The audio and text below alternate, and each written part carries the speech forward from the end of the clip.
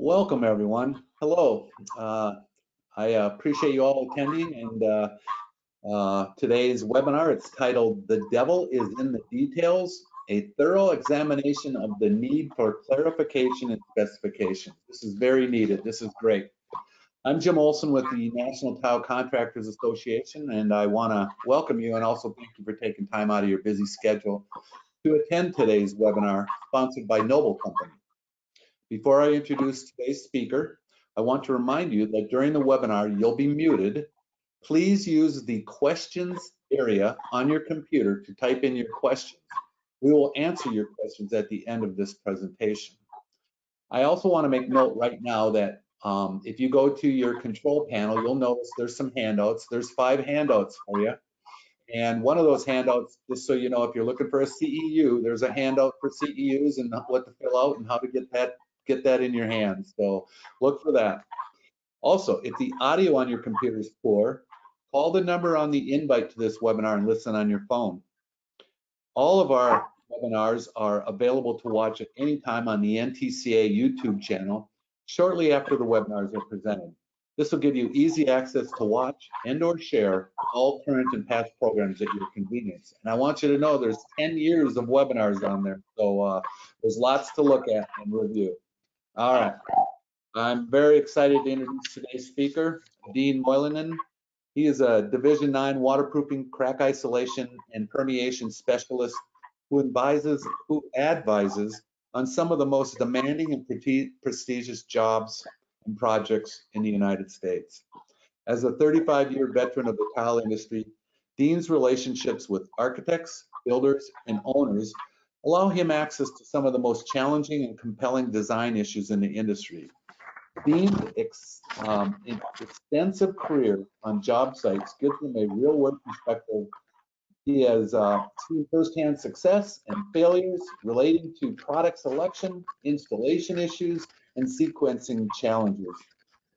Welcome. I really appreciate it, Dean. I'm looking forward to it. Thanks, Jim. Thank you very much. And uh, thank you to the NTCA, National Tile Contractors Association. Uh, wonderful organization. Uh, we love supporting all of their endeavors and efforts. And uh, I especially enjoy these opportunities to roll out these webinars. So uh, whether you're an architect, specification writer, uh, distributor, or sales rep, contractor, welcome. And I hope we can have a, an enjoyable hour together. I must tell you this is a great looking crowd. Um, everyone looks well rested, well fed, ready to go here. Um, a couple things here, a little bit of uh, minor housekeeping. Uh, the title of this of this presentation, I want to make sure that uh, you know I don't overstep my boundaries. You know, like many manufacturer reps, trusted advisors, consultants to architects and spec writers. Um, we often have very deep and granular knowledge about a very small window of uh, the overall project needs and wants. But uh, so the title, The Quest for Specification Clarity, uh, by no means do I paint myself as an expert into every nook and cranny of writing specifications. But what I wanted to do was just point to some examples. By the way, this is a copyrighted presentation, so don't try to steal it, okay? Um, but what I want to do is uh, use these real life examples as ways of pointing out how I think in different parts of the specification process and different parts of the project, uh, there's probably uh, an opportunity to get a little more granular and detailed with what what is needed uh, on the part of the, of the, owner and the architect and designer, and of course how it's supposed to be installed by the contractor. Um, if you want to uh, get your phone out and hit this QR code, there's all kinds of great information you can pull off of uh, doing that that is relevant to this presentation, okay? Uh, again, uh, some background about uh, Noble Company and uh, who uh, we work with across this country. the owners of Noble Company are Federal Process.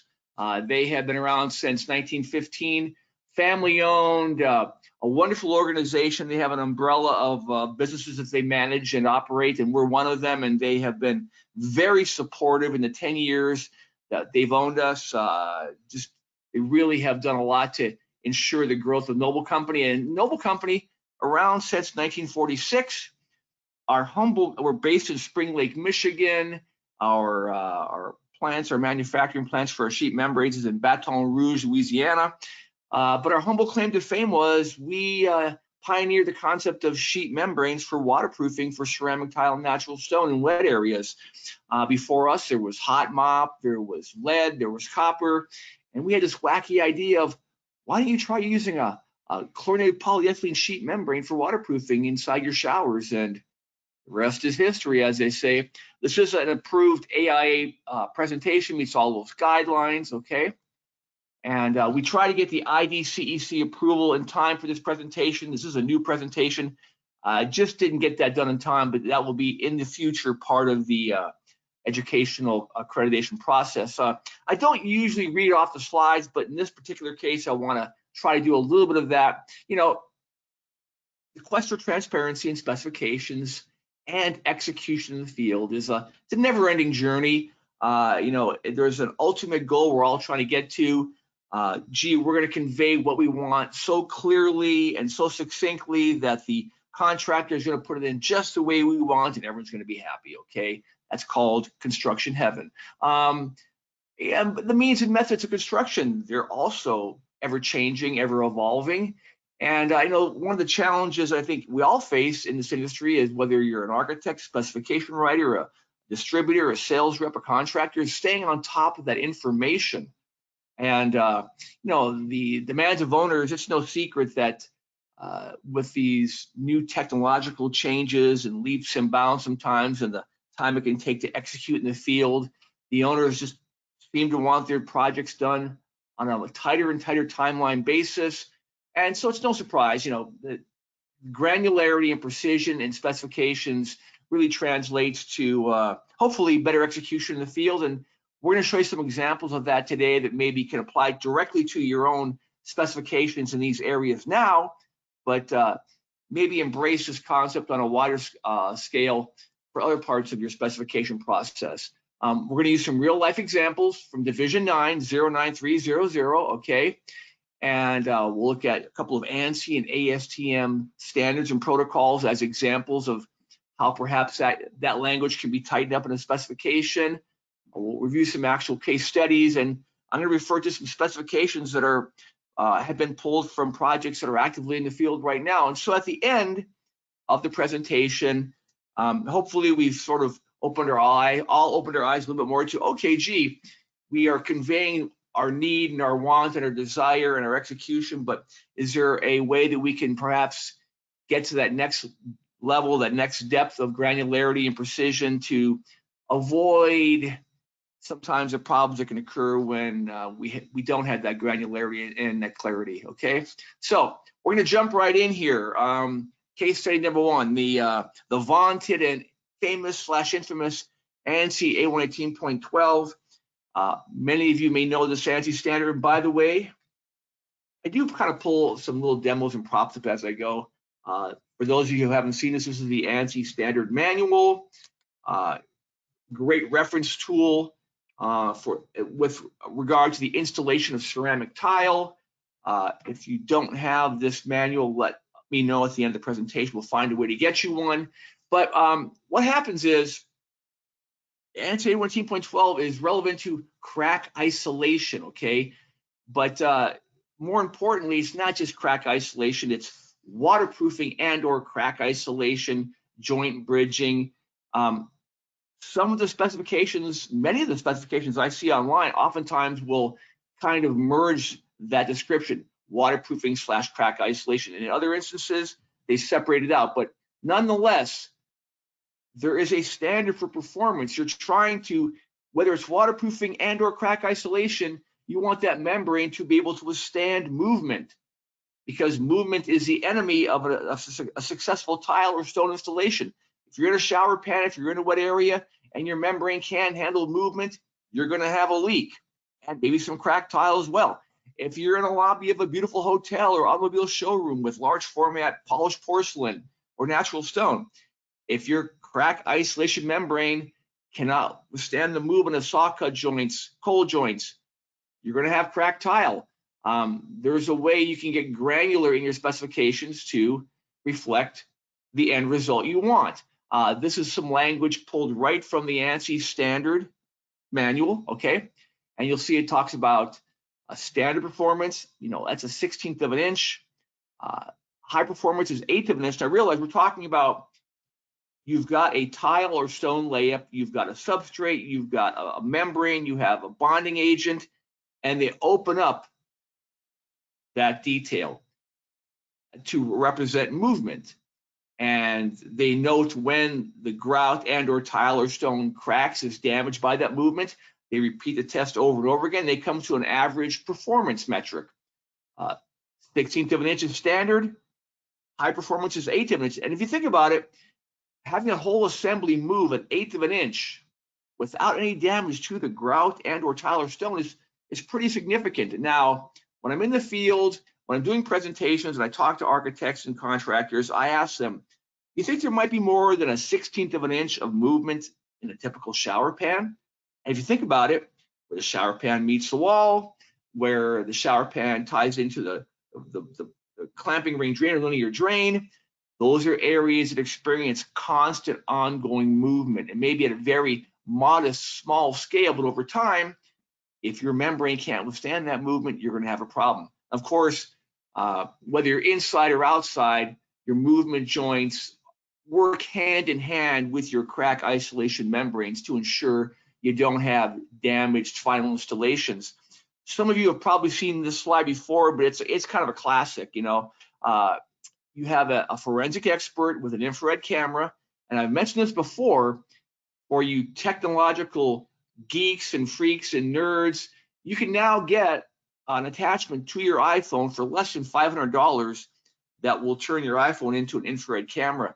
How good do these work? How well do they work? Well, there are some representatives who handle uh, floor warming products, uh, and they're able to, with this thermal imaging camera, it's under $500 that you attach to your iPhone, you're able to detect the cold spots and hot spots on a floor. So just a little additional knowledge there.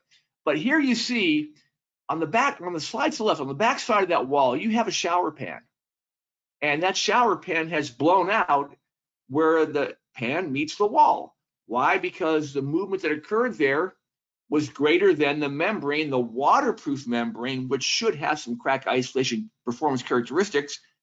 It couldn't handle that movement, okay? And or maybe that membrane was installed incorrectly, which contributed to that failure. But um, there's a way that you can help minimize that. Uh, of course, here we see a, a fluid applied uh, waterproof membrane.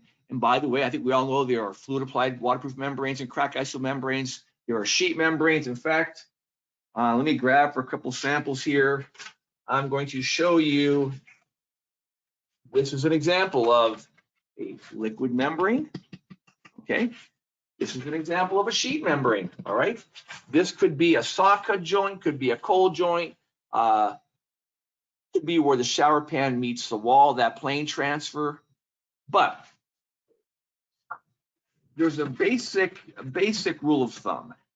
When it comes to ANSI A118.12 and standard or high performance, most liquid membranes will not meet. In fact, I haven't seen one liquid membrane out there that meets the high performance metric, eighth of an inch, of ANSI A118.12.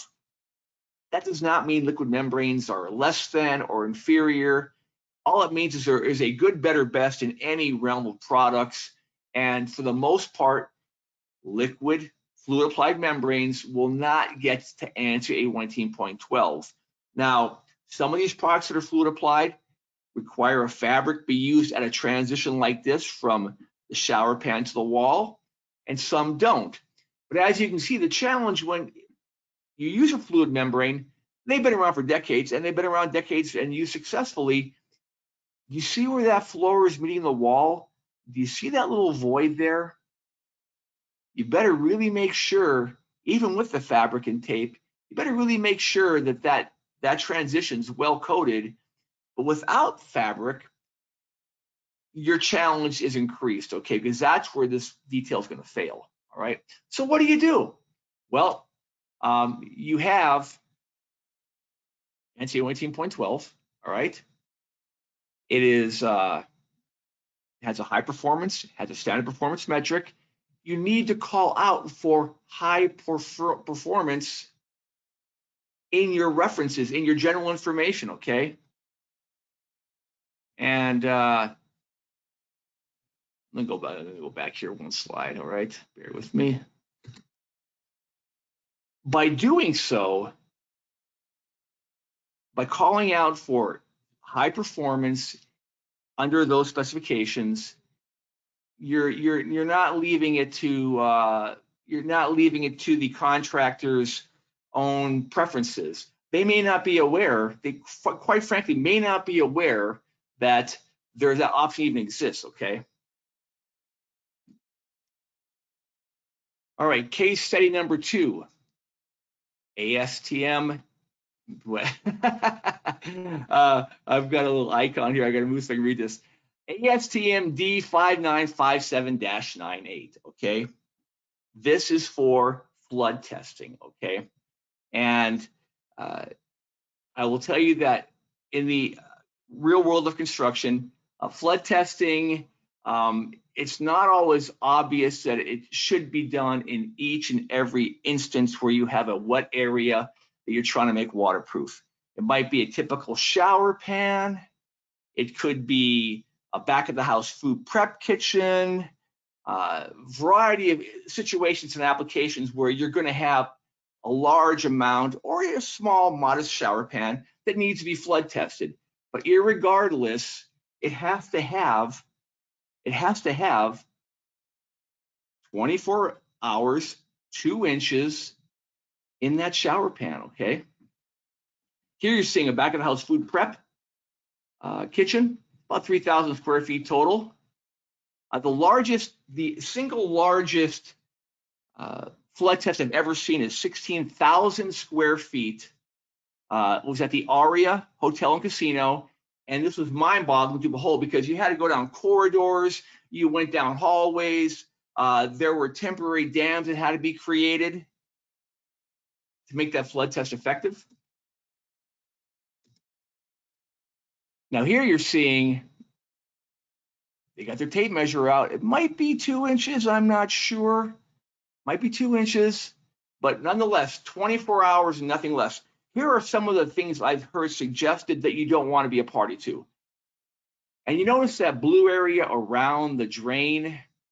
Uh, well, what typically happens is this is one way you make sure that that wet area is watertight. You've got a little inflatable we'll call it a little inflatable ball or gasket, okay? And you're going to attach that to your hand pump. And what's going to happen is, whether it's one shower or whether it's uh, 100 showers, they're gonna they're gonna fill up this little ball, all right, until it's totally swollen and water cannot get down that drain assembly, all right. Then you're going to fill that shower pan or that back of the house food prep kitchen or whatever you have that you're waterproofing at two inches for 24 hours. Now, I've heard comments like, well, we're just to flood test around the drain that's the most critical area. Well, no, not really. Uh, a lot of failures, unfortunately, happen when they do happen. They can happen on the inside corners of the shower or the or of your of your waterproof assembly. Could be a back of the house food prep area. Those inside corners oftentimes can leak uh, where it meets the curb. If you got a shower curb, sometimes leaks can occur there. So uh, you have to water, you have to flood test the entire wet area. Uh, I've heard suggestions like, well, we're gonna do it for five hours, one hour, 10 hours, whatever. No, unfortunately, I've seen I've seen flood tests fail at, at the 23rd hour. Okay, and uh, this may seem obvious, but and what's a concern to me here, they already have the ceramic tile installed. Now, I don't, you don't want to wait to do your flood test until your final stone or ceramic tile or mosaic, whatever you have in that shower pan, you don't want to wait until it's installed to flood test because if heaven forbid there's a failure, it's already going to be kind of expensive to pull up that waterproof shower pan and redo it but to have to pull up the finished assembly, uh, please don't do that, okay? So make sure uh, under your references for your specifications from the very start, make sure you reference ASTM D5957-98, okay? Very important, all right? And do not accept anything less than 24 hours as the time you're going to spend to flood test that area. Of course, one of the big challenges once the flood testing is done is keeping that, that flood tested area safe and secure uh, from construction elements, from workers, from various flotsam and jetsam. I mean, you can, I want you to look at this photo closely. They've just pulled the plug. The water is still kind of sitting on top of the membrane. And already there's a pallet. Now, I don't know about you, but I've seen plenty of pallets with nail heads and exposed nails uh, uh, jutting out of the pallet. Uh, look like there's some form boards or protection board that maybe someone was going to put on that on that wet area, but haven't hasn't done so yet. So, uh, if that's not bad enough, take a look at this. Another flood tested wet area that's turned into, gosh, a, a, a, a trash collection center. Uh, there's a drill laying on the floor. Uh, there's buckets, there's boxes of various attachments and screws. Not to mention, look at the footprints, folks. Now, you know and I know, if you're on a construction site long enough, you're going to get things on the bottom of your boot. You're going to have a, a nail, a screw. You're walking across this wet area. It's already been flood tested. It doesn't take much to damage a waterproof membrane, so it's very critical. Waterproofing surfaces are not wearing surfaces, okay? Now, prefabricated pans and trays, they have really taken on um, an ever increasing larger percentage of typical shower pan waterproofing, okay?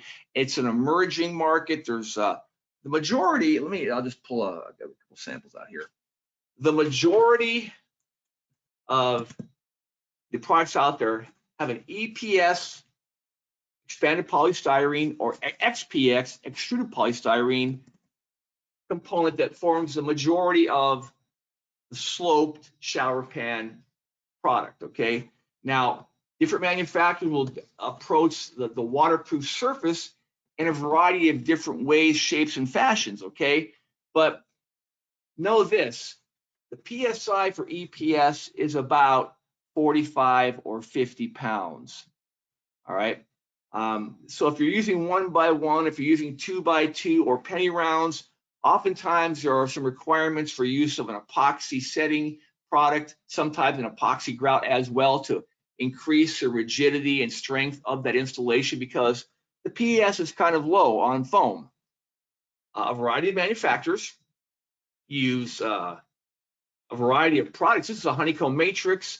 Uh, some will use fiberglass with a cementitious coating, the end result is you want to increase the PSI and strength of the bonding surface. In this instance, the bond, the PSI is about 235, which means you could use one by one, two by two, penny round. You're not going to be required to use any type of special uh, adhesive or epoxy setting product. Uh, and you know, as far as epoxy adhesives go, they're wonderfully strong and robust bonding agents, but realize for some people, they can develop an epoxy sensitivity, which means when they're exposed to epoxy resins in a closed environment, like a shower, uh, they can have inflammation of their nasal passages, uh, their lungs, uh, they can develop blistering on their skin. So, you know, if you don't have to use epoxy, it's uh, might be overall a more healthy environment for your setters. Okay, now let's look at um, a little quick video here. Uh, these are some a variety of popular current prefabricated shower pans and trays. And what we're showing you is there's a test out there called IAPMO PS106. And people try to incorporate, they're, they're, trying to create an ANSI standard for these prefabricated shower pans. And part of that standard is you drop a steel ball, two pounds, three feet, and any kind of deformation, damage uh, to the substrate is considered a fail. Because you can see what happens here.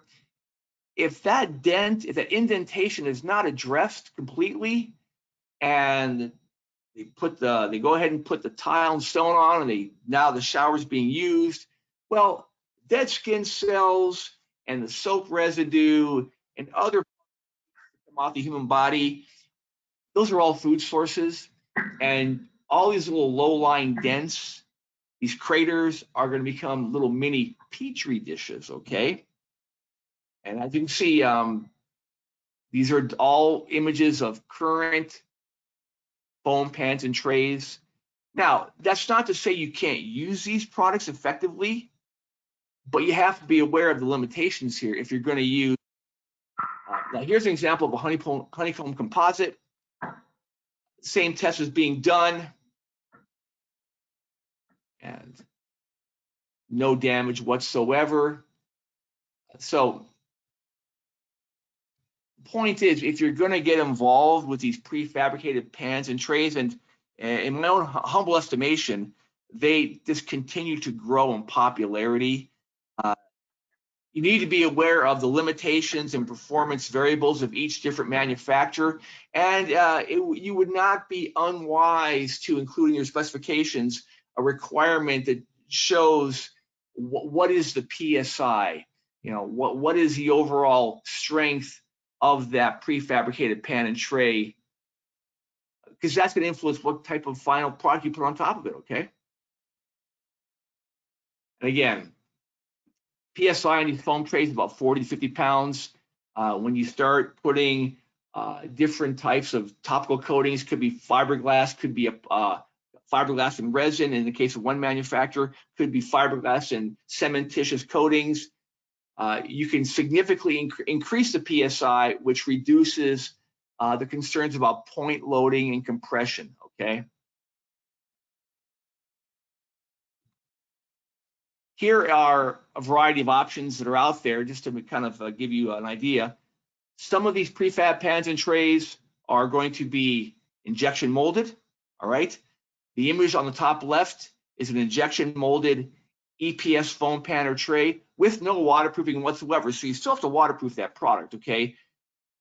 The image to the right is an EPS foam product, but in this case, they've applied a liquid membrane to the foam to pre-waterproof that product, which is a good idea. Now, the only concern you might have is if it's EPS foam and it's a liquid membrane, and for any case, in any situation where someone dents it or causes a slow, a minor indentation or break in the surface, you could interrupt the continuity of that, of that waterproofing membrane. Uh, the image on the bottom left is a hybrid product. Uh, it's got EPS foam, but a honeycomb matrix on top of the foam that increases the PSI to about 235. All right. The image to the right is an XPS. That's a much denser, uh, more uh, resist water resistant foam, extruded polystyrene with an additional fiberglass and cementitious coating on top of it. Now, also be aware, depending on the manufacturer, some of these companies can make custom size waterproof pans and trays. Some of these manufacturers can pre-waterproof them, some of them can't. So uh, again, in your specification granularity, really important, I think, if nothing else, to be very clear about the, the PSI requirements of that prefab pan and tray and also be aware if you want custom sizing, not every manufacturer has that option, okay? So what do you do? Well, we kind of just kind of laid it out.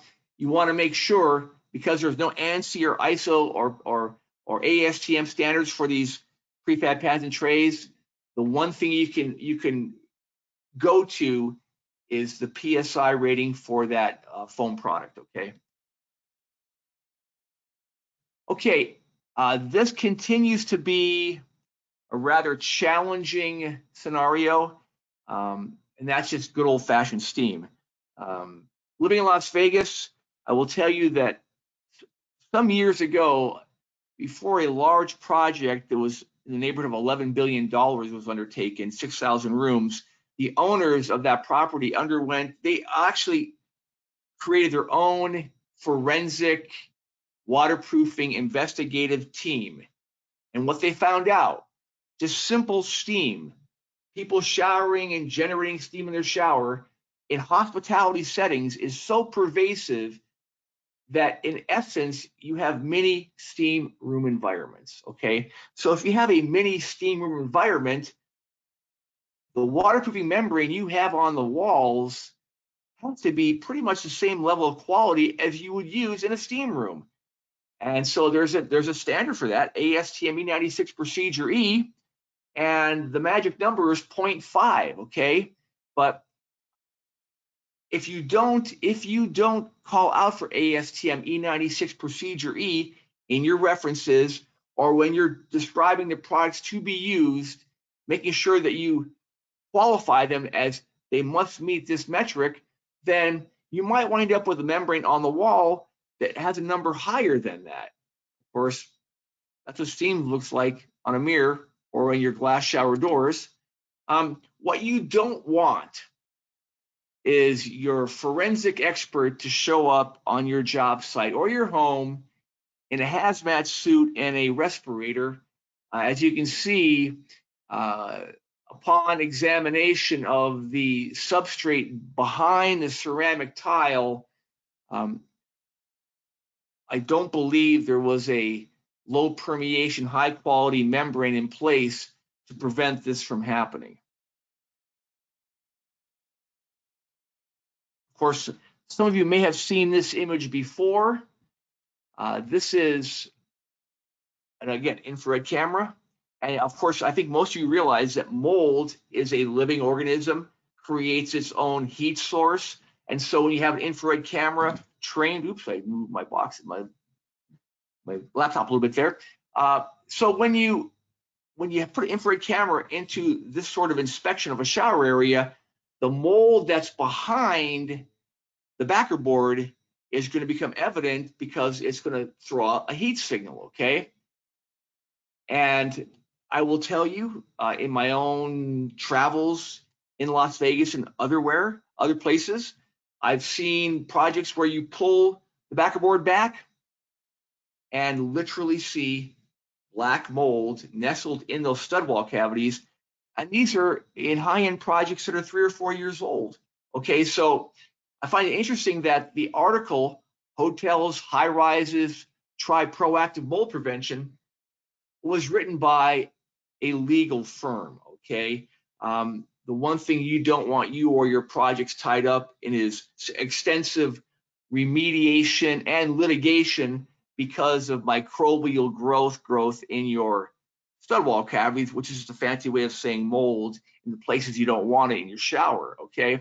Now, I don't have my five gallon water bucket or five gallon jug, but I got my five gallon bucket. Why would I be showing that? I'll tell you why. Um, depending on what type of membrane you use for your walls and depending on its permeation performance, uh, let me give you a, um, some basic, uh, turn your mind's eye on, think of 10 showers, average 100 square feet per shower on the walls over a week's time, okay?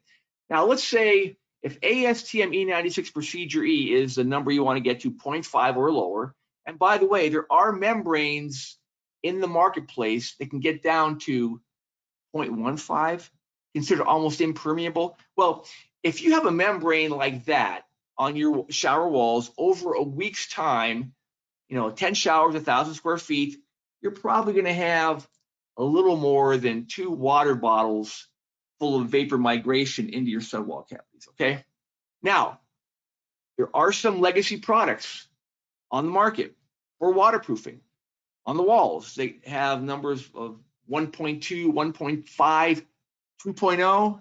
Well, what that means is you're gonna have roughly a gallon, a gallon and a half, two and a half gallons, which is halfway to filling up this five gallon bucket of vapor migration into your subwall cavities. So very critical, you know, when you're writing your references for your waterproofing, and by the way, this is not a proprietary require, uh, specification. There are a variety of products in the market. There are some liquids, there are some sheets that can get you to this number, okay? But you wanna make sure that you're referencing ASTM E96 procedure E in that part of your specifications. Then if you reference certain products or manufacturers, make sure those products also are gonna reflect that that level of performance. I see more often than I would like where the specification writer has plugged in the correct ANSI standard for crack isolation, high performance. They've plugged in ASTM E96 procedure and then the products are listed and the products don't meet the requirements of that of that standard. Okay. And of course, I'm not saying that putting a low permeation membrane in the walls is going to solve all of your vapor migration and uh, concerns about uh, you know microbial growth in stud wall cavities, but it's going to go a long way. And and heaven forbid, in the event that there are any issues with microbial growth or mold remediation, the fact that you as an architect and specification writer have put in a high performance low permeation membrane to guard against that speaks volumes, okay? Now, some of you may have heard, I've heard this, I believe it to be true, that you're going to see a significant increase in the use of hard surfaces, you know, ceramic tile, natural stone, and exterior living environments, whether they're uh, residential, whether they're corporate, uh, areas where employees can uh, avail themselves an exterior uh, relaxation zone or a place to have meetings or lunch, or it's hospitality restaurants that simply want to expand their own areas of revenue enhancement to the outdoors. The basic, the basic um, premise being put out there is that there's going to be some significant growth in that area, um, which is great, but it, it points out a problem and a challenge a lot of uh, contractors, some specification writers who get used to certain systems that work great indoors will pull those same products outdoors where they just can't hold up to the rigors of that environment, okay? Here's an example of a failure where the thin set that was used to bond the tile on this exterior environment was not rated for exterior environments. And yes, there are thin sets and grouts that are rated for exterior environments, and, and some products are not. The same is true with waterproof membranes. There are some waterproof membranes that are uh, designed and can hold up to exterior conditions. Some cannot. But to, to further cloud the issue here too, take a look at the trowel troweling on here.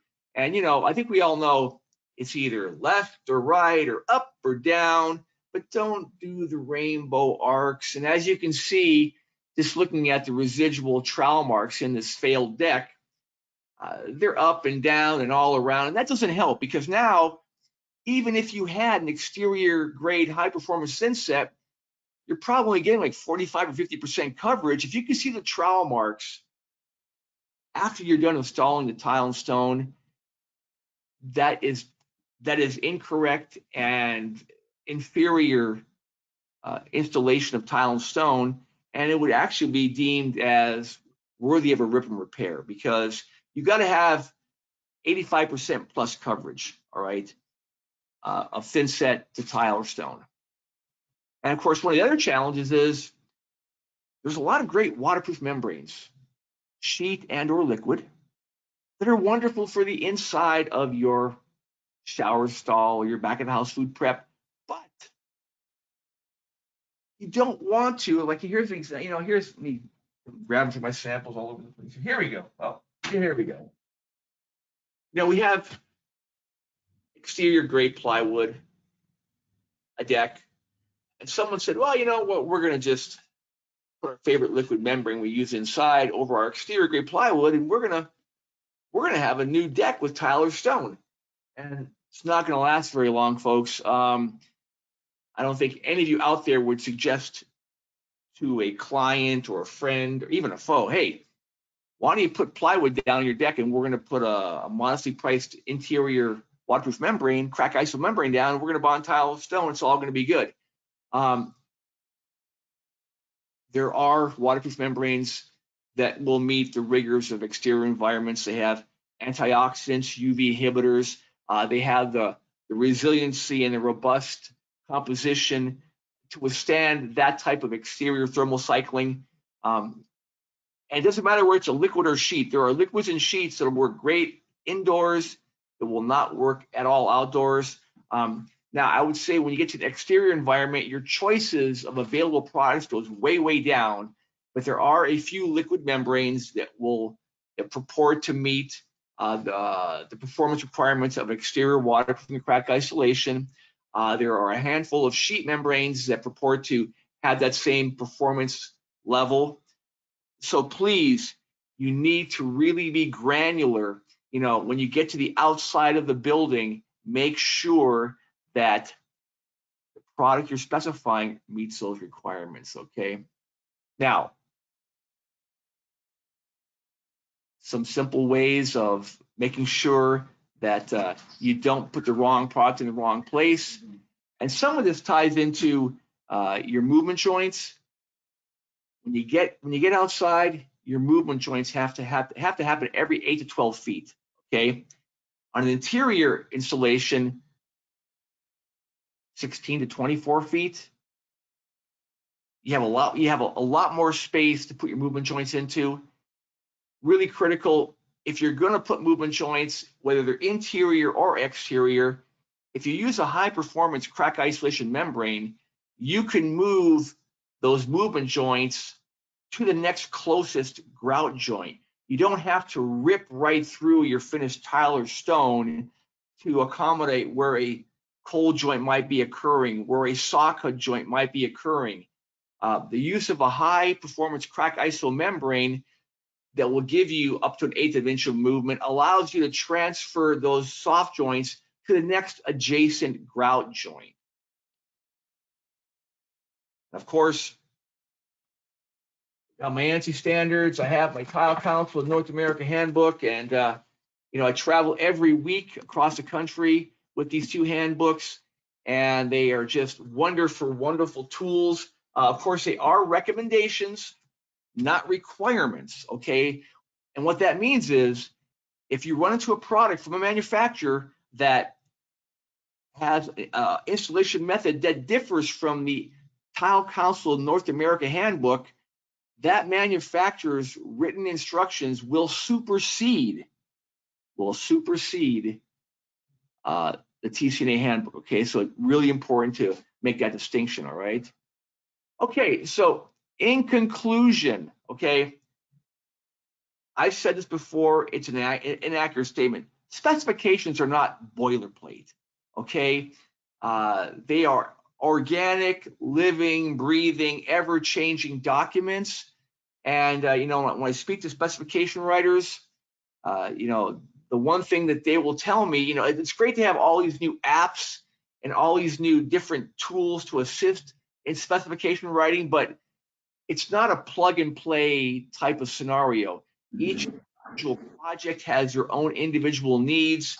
Um, different products, you know, waterproof membranes amongst three different manufacturers may have different requirements and may require you to alter your specification to address that particular product's limitations or strengths.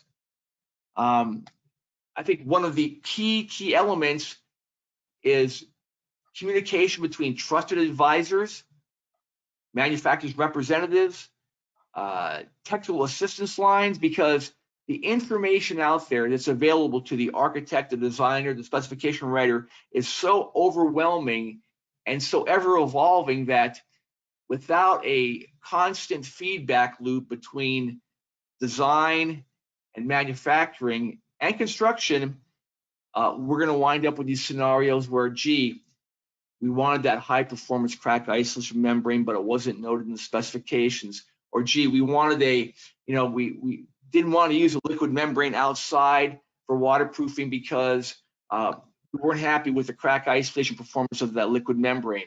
Or gee, we've been using this uh, waterproof membrane for years in our showers. We weren't aware that the permeation rate was this high. So this is where it sounds obvious, but it's still a challenge. The communication between people making the products and the people specifying and using them has to be ongoing and open. Of course, part of part of the the key foundation to successful installation of tile and stone is qualified labor. And, you know, Noble Company is a big pr proponent of uh, really bringing that message uh, when we do these presentations nationwide every week, regardless of whether for if they're architects, contractors, distributors, you know, we're always promoting qualified labor. It's just such a key part of ensuring the longevity of our industry. And it's part it's a part of master spec writing their language. And uh,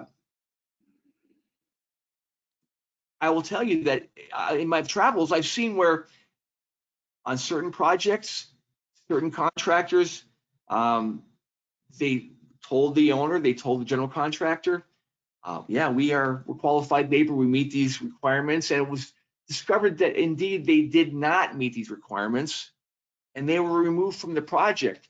Now, I'm not going to say it happens every day, but the point is, I believe this area of of qualified labor and demands for a certain level of skill, I think that I think that that's getting much more uh, much more uh, baked in the specifications and much more baked into the requirements of the owner and the general contractors out there. So by by being proactive, by uh, uh sourcing one of these various institutions to help you increase you your skill set, your company's skill set, the skill set of your employees, uh, what you're doing is obviously elevating uh, the skills and the, uh, the marketability of your company, but you're also helping to ensure, look, we want all these projects that are specifying tile and stone, we want them to be successfully installed so we can all, for years to come, be a part of a very vibrant, dynamic, growing industry in which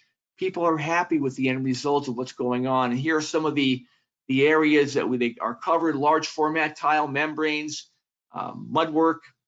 Uh, these are just uh, some of the major areas. And I will also tell you that it's not an easy, it's not an easy test. It's not an easy protocol to pass. Um, we had a recent international event uh, in the, back in the eastern part of the country, and I believe about half of the people who took this final certification were able to pass. It's not just multiple choice or an essay question. It is a lot of very demanding installation in a very compressed amount of time. So uh, know this, the people who have risen to this challenge and passed these tests are truly qualified labor. One more look at some of the uh, email addresses of these organizations. And I am going to uh, draw to a close my portion of the presentation thank you very much for uh, taking the time to go over some of these key examples, I believe, of how we can uh, get a little more granular with our specifications. And uh, you get a hold of me, you've got my cell phone number, you have my email address. And once again, thank you for taking the time to meet with me today. Thanks, Dean. Um, I want to thank you for working hard with us to get these qualified labor language into specifications and uh, SpecLink and uh, all the different uh, avenues. It means a lot. Thank you. We do have some questions today. You had a, a, a beautiful presentation with a lot of information, so I expected some questions here. Um, the first one that we have is, what frequency of flood testing do you recommend for hotels, multifamily, etc.? All showers or a certain percentage randomly selected? That's a great question, Jim. And I'll tell you, I, I won't mention the, the city or the, uh, the project, but there was some time ago um, someone who was into statistics and analysis and probability, and that all makes sense on a certain level. But someone came up with the idea of, well, we're going to test out of every 10 showers installed, we're going to test like three or four. And we develop a baseline of performance based on that. And uh, that didn't work out so well. You it's you have to you have to flood test each and every shower stall. You know i've been a part of projects that were 6000 imagine las vegas 6000 rooms with 6000 well probably more than 6000 showers because some of these rooms had more than one shower. But each and every shower wet area had to be flood tested for 24 hours two inches. And again the Aria Hotel back at the house food prep, 16,000 square feet. It, I used to have the video of this. I really, I weep when I think I lost this video, but it was it was mind-boggling to see that large of a surface area flood tested successfully. So yeah, it's it's simply have to be done. I agree. Every single one of them. Yep. The one you miss is the one that's going to fail. You got it. You got it. Um, Alice is asking, is there a, a more detailed document or link available for case study number four? She'd like to uh, just just uh, examine it in more detail if possible. Uh, you know, I'll tell you what. Let me. Uh, I, I will. Um, that's that's a that's a, that's a valid request, and um, let me do this. Um, upon the conclusion of this presentation, I'll go back and see if I can get a little more um, validation or documentation to substantiate uh, some of the uh, things that were gone over in that particular example. Be happy to do that. So Alice and everyone else out there, tomorrow you'll receive a thank you email from me just thanking you to come. Just reply to that that you'd uh, like to get that information. I'll make sure Dean gets it and make sure that uh, whatever he finds, he'll have that for you. Thank you. Appreciate it. All right. Let's see here. Well, one of the uh, NTCA trainers, our training director, said terrific information and uh, interesting presentation, so that's good. Um, here's one. In, re in regard to actual specification, do you recommend that the spec writer simply references the applicable ANSI ASTM TCNA requirement, or should it actually be written out and explained um, codified in specs to ensure that the subcontractors installers are fully aware of the actual workmanship quality that is required.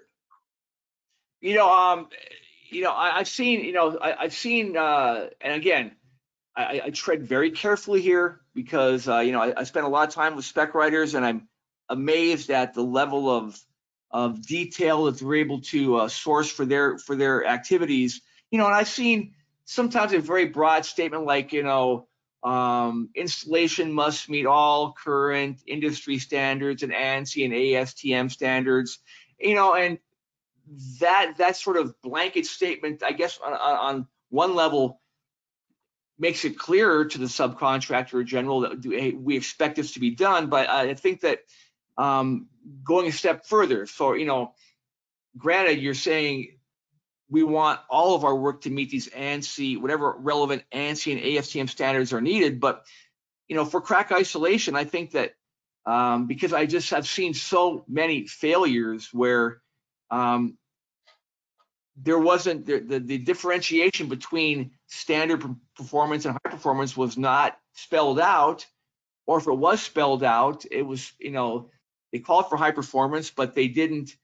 The products they listed didn't meet high performance, and so now you're, you know, you're on a job inspection or you're wondering, well, gee, why did this not go the way we wanted it to? Well, uh, I think taking the extra step to be very, very precise. Okay, yes, I we want you to meet all ASTM standards relevant to this project and this installation, but when it comes to the waterproofing on the walls, we want to make sure you're doing AST referencing and using and employing and installing ASTM E96 procedure E, period. That way there's there's there's no gray area because I don't think a lot of contractors, I think a lot of folks don't realize that that membrane they're putting on the wall uh, may not be may not get them to where they want to go with regard to vapor migration. Great. Real quickly, everybody, before a lot of people leave a little bit early here before we answer all the questions. Please note, uh, Dean's email address and phone number on here. Jot it down in case you would like to get a hold of him. I'll tell you right now, Don will, uh, Dean will be happy to uh, uh reply to you and uh, communicate for sure, definitely. It looks like we have one more here. Wait, we got a couple more. Here we go. In regard to, nope, oh, excuse me, I just read that one. Here we go. Are you aware of updated spec writing classes are being taught to the incoming architects, designers, and PEs, PMs coming out of school today?